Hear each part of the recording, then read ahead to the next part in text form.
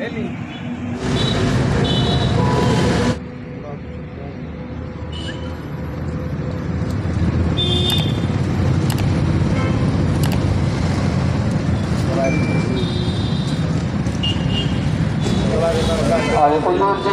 जो हमारे हाँसी के अंदर लगातार खास की समस्या लेकर के चार दिन अनशन पर रहे थे, वो साथी हमारे बीच पहुँचे, उनका स्वागत है। से आए सभी साथियों का भी अभिनंदन है स्वागत है। और उम्मीद करते हैं कि कल आस पास के क्षेत्र के तमाम किसान साथियों से वो ज़्यादा संख्या में यहाँ पहुँच करके सरकार को मजबूर करें जल्द से जल्द खाद की सप्लाई नमस्कार दोस्तों एनजी न्यूज़ हरियाणा में आपका स्वागत है। भाई दोस्तों आपके लिए एक बड़ी खबर है। खबर क्या है मैं आपको बताता हूँ। एनजी न्यूज़ की खास टीम पहुँची है। नरवाना का जो सेक्ट्रेट है वहाँ एसडीएम दफ्तर के बाहर धरना शुरू कर दिया किसानों ने। पूरी बात जानेंगे क्यों धरना शुरू किया गया है। और इसमें अशोक नैन जी जो भाई दनौदा से है, उन्होंने यहाँ पर अनशन शुरू किया है। और ये किस बात को लेकर है बात करेंगे? फ़िलहाल मैं एक बार बता देता हूँ, जो यहाँ पर किसान पहुँचे हुए हैं खटकर टोल प्लाजा और मैयर टोल प्लाजा से बद्दवाड़ा टोल प्लाजा है। सभी जगह से जो किसान और नरवाना के आसपास के गाँव के जो किसान हैं, जिनके जिनको बहुत ज़्यादा डीएपी की प्रॉब्लम आ रही है खाद की बहुत ज़्यादा प्रॉब्लम आ रही है उसको लेकर किसान हैं वो बहुत ज़्यादा दुखी हो चुकी है। प्रधान जी से बात करते हैं खटखट टोल प्लाजा से। प्रधान जी जिस प्रकार से गेहूँ की बिजाई होती है वैसे वैसे डीएपी की भी मांग बढ़ती रहती है। तो सरकार की तरफ़ से वादे किया जा रहा है कि डीएपी काफ़ी संख्या में किसानों के पास पहुँच रहा है। लेकिन जब बात करें सरकारी केंद्रों की वहाँ पर डीएपी नहीं है। किसान बहुत ज़्यादा दुखी हो चुका है सर। प्रदेश का मुख्यमंत्री बोलता भाई हमने इतना टन इतना टन खाद मंगा दिया। लेकिन किसानों तक खाद पहुँच ही नहीं रहा। वो कहाँ मंगा दिया? कहाँ है? कौन से गोदाम हमें जहाँ उनकी काली बाजारी कर रखी? अच्छा जी। पहले तो खाद बहुत कम मंगा रखा है सरकार ने। अच्छा जी। और फिर थोड़ा बहुत खाद आ भी जाता है तो काली बाजारी चल रही है। अच्छा किसानों को तो इक्कीस सौ इक्कीस सौ में कट्ठा दे रहे हैं। उसके बहाना बीज लगा देते हैं दवाई लगा देते हैं।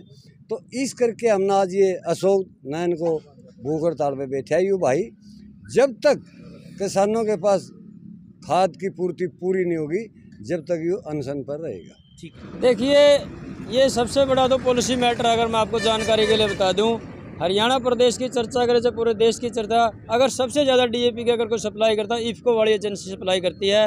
आज हरियाणा सरकार का कोटा इफ़को का घटा दिया गया है और प्राइवेट सेक्टर के लोग खाद इसलिए ना ले रहे कि यहाँ काला बाजारी के लिए किसान जागरूक हो चुका है। सबसे बड़ी दिक्कत तो सरकार की पॉलिसी है। आज हमारे पास जो अधिकारी बैठे हैं, इनके पास भी इतनी पावर नहीं है, वो खाद की सप्लाई देश के। क्योंकि इफ्को का जो कोटा वो सरकार ने घटा दिया है और प्राइवेट सेक्टर की जो सब्सिडी चार सौ रुपये देनी थी सरकार ने, वो कंपनियों को अब तक भेजी नहीं। सरकार साफ़ ड्रामा कर रही है, सरकार किसानों को परेशान करना चाहती है और जो थोड़ा बहुत खाद आया है, उसकी काला बाजारी की जा रही है जिससे किसान बहुत परेशान है। आपने देखा हुआ चाहे कैथल की बात करें चाहे हिसार की बात करें, हमारे साथियों ने बड़े बड़े गोदामों को छापा मारा और वहाँ से खाद उपलब्ध कराया। और एक बड़ी बात, नरवाना के अंदर दो नंबर का खाद, जिसे यूतम के कट्टों के अंदर भर के बेचा जा रहा है, हम प्रशासन से मांग करते हैं कि ऐसे लोगों को भी तुरंत पकड़ा जाए, ताकि किसान के साथ धोखा ना हो। मैयर टोल प्लाजा से सूबेदार रणवीर सिंह जी पहुँचे हैं मैयर टोल प्लाजा और इनकी टीम के साथ। आज अशोक जी ने हर किसान की जो समस्या थी, उसके लिए अनशन शुरू कर दिया है।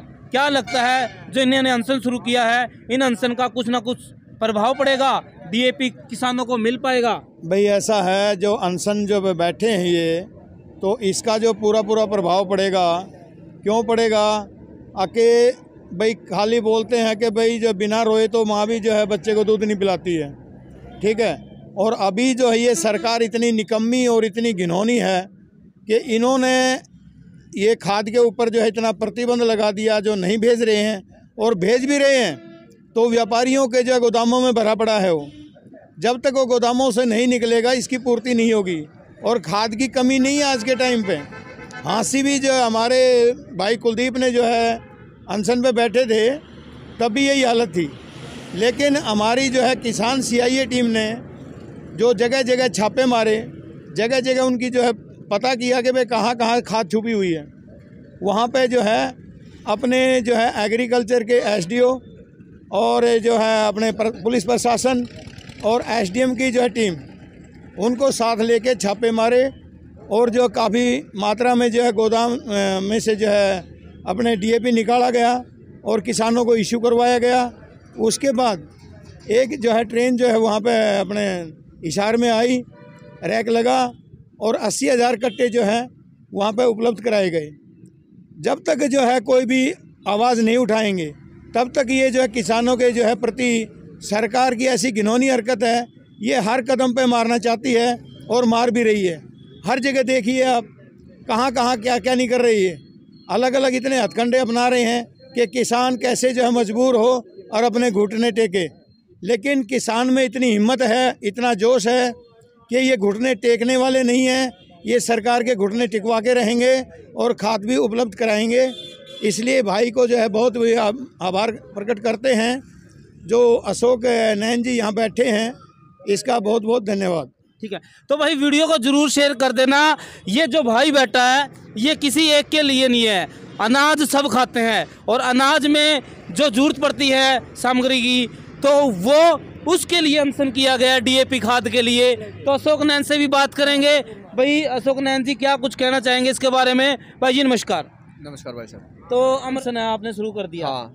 तो क्यों शुरू किया आपने ये अमर देखिए पूरे हरियाणा या पूरे भारत की बात करें पूरे भारत में डीएपी की कमी है। और वह कमी क्यों है? ये मोदी सरकार ये चाह रही है कि किसान अपनी ज़मीन से तंग आकर ज़मीन बेच दे और अडानी मानी ज़मीन खरीद ले। जो दिल्ली बैठे हैं वहाँ पर ज़्यादा तादाद ना किसानों की जाए इसलिए यहाँ पर तंग कर रहे हैं डीएपी की कसौटी रही अगर यूपी की बात करें दो तीन तो हमारे वहाँ पर आत्महत्या करके भी मर गए और लाइनों में मर रहे हैं। अब दिल्ली की बात करें जैसे सरकार कह रही है जी अ, किसानों ने रास्ता रोका है। तो अब जैसे सरकार की तरफ़ से रास्ता खोल भी दिया है तो अब क्या होगा सर आगे? वहाँ देखिए, बात करें तो। बॉर्डर की बात करें तो हमें ना तो रास्ता रोका हम हम तो दिल्ली के लिए गए थे। और जब दिल्ली पुलिस ने और हरियाणा पुलिस सरकार ने बॉर्डर बंद किए तब हम वहाँ पर रुके। जिस दिन बॉर्डर खुल जाएगा हम वहाँ पर दिल्ली जाने के लिए बैठे हैं दिल्ली जाएँगे। अच्छा। अच्छा मैं एक और खास बात पूछना चाहूँगा। एलनाबाद में खास चुनाव हुआ है और तीन प्रत्याशी कड़ी टक्कर में थे। क्या लगता है वहाँ पर किसानों का प्रभाव देखने को मिलेगा? देखिए किसानों का प्रभाव किसानों ने अपील की थी जेजेपी और बीजेपी को हराने की। वह प्रभाव दिखेगा वहाँ पर हारेगी। ठीक है भाई साहब अशोक नैन का बहुत बहुत धन्यवाद करते हैं। तो देख सकते हैं एलनाबाद का जो चुनाव हुआ है बड़ी वहाँ पर ज़बरदस्त टक्कर हुई है और ज़बरदस्त वहाँ पर मुकाबला हुआ है। और मैं बता देता हूँ, वहाँ पर जिस प्रकार से किसानों ने विरोध किया है, जेजेपी और बीजेपी पार्टी का, कहीं ना कहीं वो असर एलनाबाद में दिखाई देगा। अभी जब रिज़ल्ट आएगा, तभी आपके सामने सारे रिज़ल्ट है वो खोल के रखे जाएँगे। एनजी न्यूज़ की खास रिपोर्ट, वीडियो ज़्यादा से ज़्यादा शेयर कर देना। अशोक नैन जी ने, भाई जी ने डीएपी खाद के लिए अनशन शुरू किया है। धन्यवाद, वंदे मातरम, जय हिंद, जय भारत।